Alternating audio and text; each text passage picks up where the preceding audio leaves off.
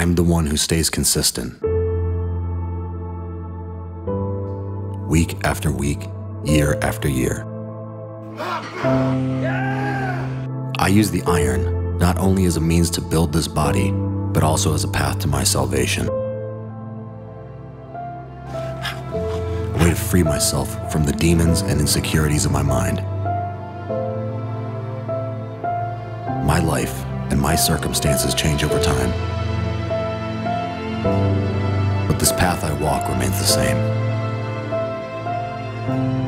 There may be over 7 billion people in the world, but there's only one me, and that's who I'm competing with every day. It's about the intensity of your efforts, it's about being determined, it's about standing up against any odd that life throws at you.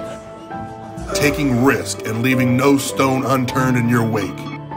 I was born to fight because I am the one who will keep coming back even after he gets knocked down. I love the feeling of pain and accomplishment together. I took all the fears and negativity that I struggled with and used it as fuel to push myself further.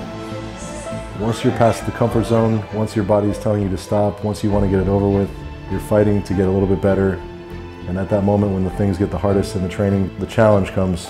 And that's what that's what makes us animal. I am animal. I am animal. I am animal. I am animal. I am animal. I am animal. I am animal. I'm an animal. I am animal. I am animal. I am animal. I am animal. I am animal.